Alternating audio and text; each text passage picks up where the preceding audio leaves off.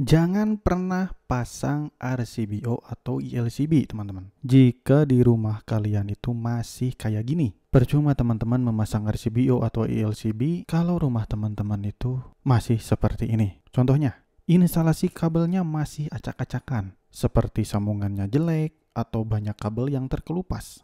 Jika kondisi di rumah teman-teman itu seperti ini, percuma pasang RCBO ataupun ILCB. Karena apa? Ya nanti akan jeklek terus atau trip terus untuk RCBO-nya atau ILCB-nya. Maka jika ingin pasang RCBO atau ILCB di rumah teman-teman, pastikan sambungannya itu bagus. Cek dulu instalasinya apakah banyak kabel yang terkelupas. Jika ada, perbaiki dulu. Maka nanti baru bisa dipasang RCBO. Nah, percuma juga jika teman-teman pasang RCBO di rumahnya jika netral dan groundnya digabung setelah KWH meter. Ini kasus banyak sekali kenapa RCBO-nya kok sering trip, ILCB-nya sering trip, tapi setelah dicek gak ada apa-apa katanya. Padahal setelah ditelusuri ternyata netral dan groundnya digabung setelah KWH meter. Seperti contoh instalasi di sini. Di sini keluaran dari KWH 3 kabel yaitu fasa netral ground yang masuk ke arah RCBO. Tetapi setelah keluaran RCBO yang netralnya ini digabungkan dengan ground di sini nih. Yang satunya ke tanah, yang satunya ke instalasi rumah. Nah, yang ke tanah ini dan ke instalasi rumah ini digabungkan antara netral dan groundnya. Kalau KWH prabayar setidaknya pasti akan ada error biasanya.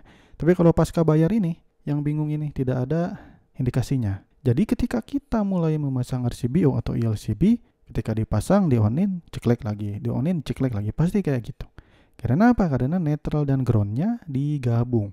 Solusinya ya pastikan netral dan ground jangan digabung ketika ingin memasang RCBO lepas saja gak apa-apa. Itu kan sudah SOP-nya sekarang yaitu prabayar itu tiga kabel fasa netral ground ke instalasi rumah tanpa menggabungkan netral dan groundnya di setelah KWH meter atau di MCB group. Dilepas saja baru pasang RCBO. Nah selanjutnya percuma teman-teman memasang RCBO atau ILCB jika salah pasang input outputnya. Contohnya seperti ini.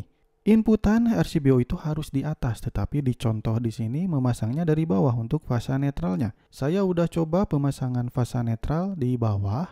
Ketika diuji ke ground, dia tidak trip teman-teman. Gak tahu kenapa, mungkin settingan di dalam RCBO-nya ini sudah kayak gitu gitu.